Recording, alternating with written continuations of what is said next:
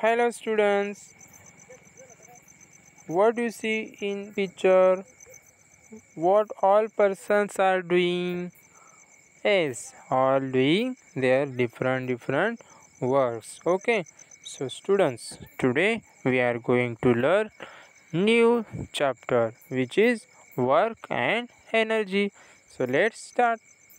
In this chapter we will see work con- condition for work and units of work. Okay so let's start. What do you see in pictures? In first picture uh, can we say uh, two boys are uh, doing work? No they are only watching tv so they they are not doing work. In uh, the next picture a girl is thinking. So we ca- can we say uh, she is doing work no she is only thinking. So now see this picture. The man is doing work or not?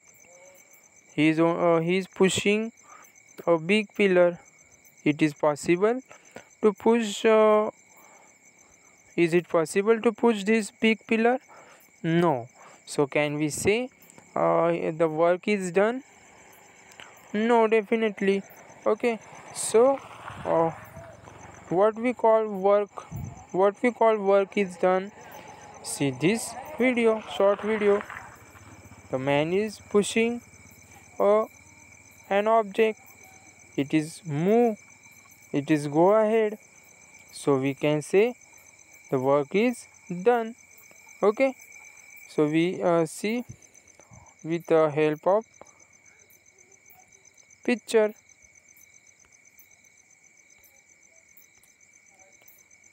see this picture okay? At first the position of this object is here his original place.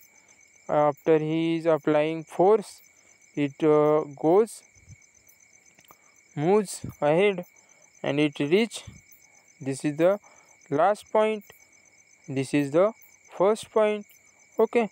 So this uh, we called it change its place uh, this difference we call displacement okay? So there is difference in the way we use the work in our day to day life and the way to physics uses it okay? So what physics uh, uh, says in physics work to be done when a force acting on a body produces displacement in the body okay? When we use uh, apply force uh, they, then there is required displacement. Uh, when displacement occur then we call work is done okay? So what is displacement? We uh, see earlier what is displacement. Here the ball uh, hits by uh, a man hits ball and ball goes uh, its uh, change its original place. That is displacement is uh, occur. Okay. Here man is pushing trolley. So trolley leaves its original place and goes another point that we call displacement. Okay. So here we can say displacement is occur. Uh, the man is uh, goes up down up down so uh, he leaves original place? No he is in same place. So the displacement is we can't say. Okay. Uh, so what is uh, unit of work? Work uh, work done is equal to force into displacement. Okay.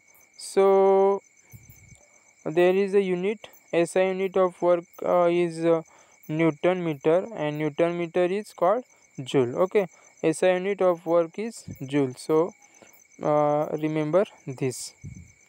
Uh, now uh, see the another example. Uh, uh, work is done. Okay in a uh, what you see? A girl pulling empty trolley and in b picture a girl pulling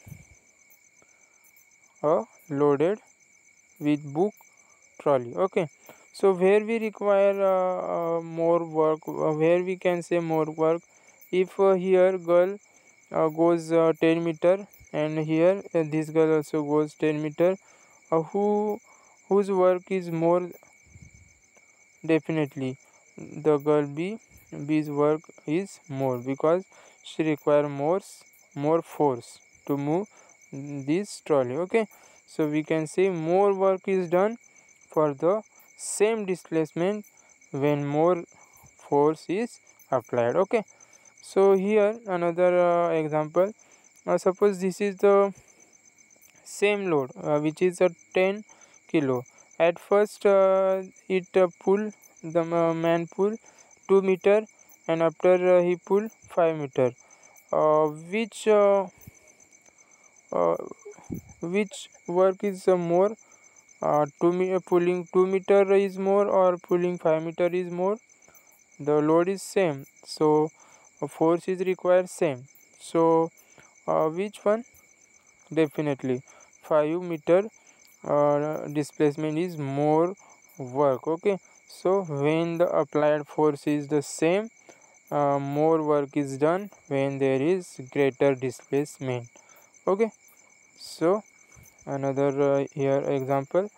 Uh, if uh, this man is carrying load and here he applied the vertical force okay? He lifted the load okay? So he used upside of force and uh, if he is standing so uh, it is possible to changes its uh, place. It is its original place. So there is no displacement.